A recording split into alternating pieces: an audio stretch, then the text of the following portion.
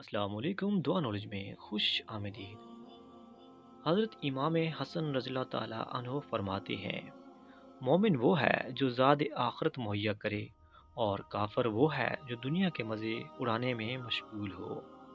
तुम्हारी उम्र बराबर घटती जा रही है। जो कुछ तुम्हारे हाथ में है, इससे किसी की मदद कर जाओ।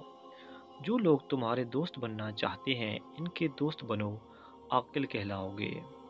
दानाइयों में अला दर्जे की दानाई तकवा है और कमज़ोरों में सबसे बड़ी बद अखलाक़ी और बदअमाली है। अपनी तारीफ़ ज़्यादा करना हलाकत का बायस है। जो शख्स सलाम से पहले कोई बात करे, ऐसे जवाब ना दो। मुकद्दर पर राज़ी हो जाओ, गनी हो जाओगे। जहाँ हया है, वहाँ ईमान है। जहाँ हया नहीं, वहाँ ईमान नहीं।